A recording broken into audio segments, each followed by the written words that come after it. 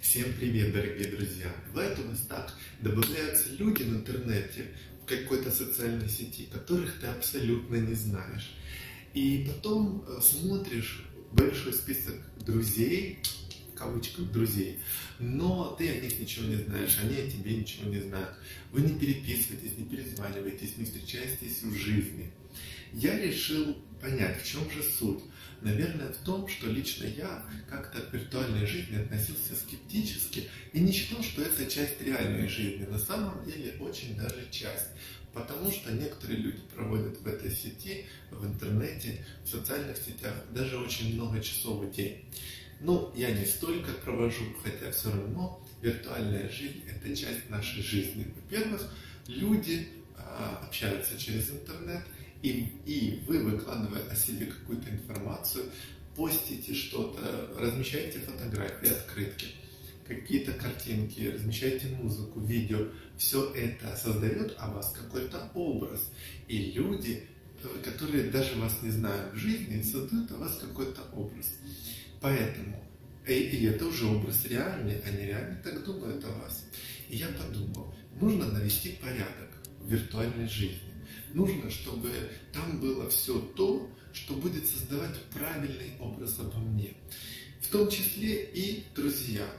Еще один минус большого количества друзей, которых я не знаю, в социальной сети, например, ВКонтакте или Facebook, которые еще больше и больше набирают обороты, это когда есть люди, и в ленте новостей от каждого вашего друга неизвестного новость какая-то, поделился открыткой, фотографией, еще чем-то. Ты открываешь главную страницу, хочешь посмотреть, что у твоих реальных друзей, ты не находишь. Пока долистаешь, ты не, до, не дойдешь никогда. И я думаю, зачем мне друзья, которых я вообще не знаю? Я хочу навести порядок в своей жизни, в реальной, виртуальной. Начну с виртуальной. И начну с того, что я определюсь, с кем я общаюсь в жизни, с кем я, может быть, даже не часто вижусь, Э, но это не родственники, даже не коллеги, но это люди, которые, э, с которыми мы вместе осуществляем какой-то проект, благотворительный, там, ну, не работа даже, с которыми я могу посоветоваться насчет там пения или еще чего-то, ремонта, неважно.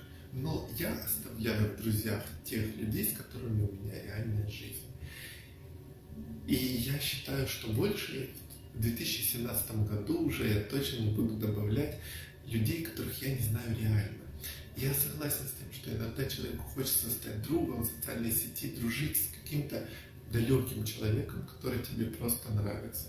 И я понимаю это, но я решил никому не добавляться, кого я не знаю, и никого не принимать друзья, кого я не знаю. Это без обид, дорогие мои, но если вы хотите быть моим другом в социальной сети, вам нужно общаться со мной в реальной жизни. Но это уже зависит от того, нужно мне это или нет. Я пересмотрю списки своих друзей, и там останутся только те, кто реально мне знаком. Если вы вдруг уже не будете моим другом в социальной сети, то будет означать только то, что за последнее время мы очень долго не общались. А может быть и никогда. И когда-то я добавил вас из вежливости. Но вы не должны огорчаться. Вы самые лучшие, самые замечательные. У вас прекрасная жизнь, собственная личная жизнь. Вы можете жить своей жизнью, общаться с теми людьми, с кем вы общаетесь в реальности. И тоже навести порядок в своей виртуальной жизни, понять, что она часть реальности. Я вам желаю всего наилучшего.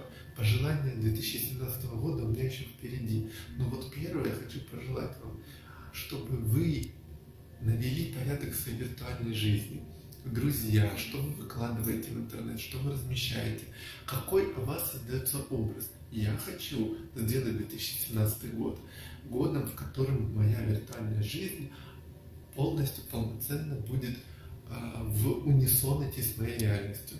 И чтобы обо мне создавался образ в виртуале такой, какой я на самом деле, каким я хочу быть, каким я хочу быть в реальности чтобы у людей, которые далеко и знают меня только виртуальности, создавался правильный образ обо мне и не было никакого диссонанса. Я вам желаю всего наилучшего и будьте реальными даже в виртуальности. Вы хорошие, вы самые лучшие. Я вам желаю счастья, всего наилучшего.